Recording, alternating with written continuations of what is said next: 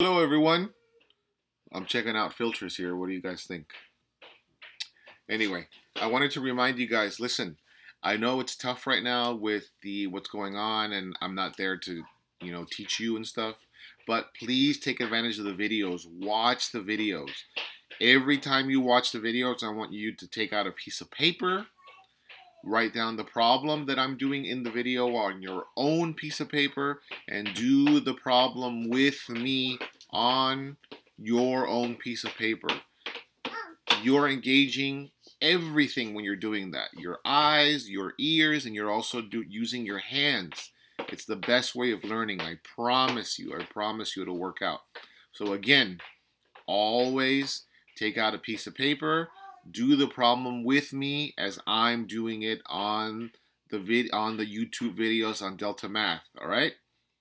Miss you guys. Hope you're doing well. Peace.